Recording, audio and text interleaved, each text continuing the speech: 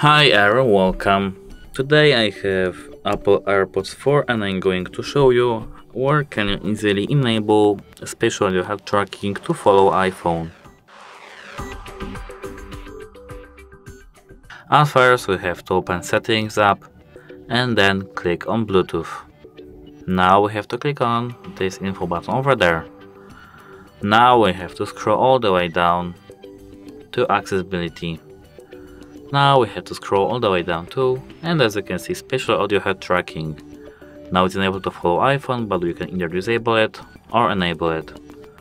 When follow iPhone is on, a spatial audio for supported movies and TV shows will sound like it's coming from your iPhone instead of following your head movement. That's it, hope it helps you, goodbye.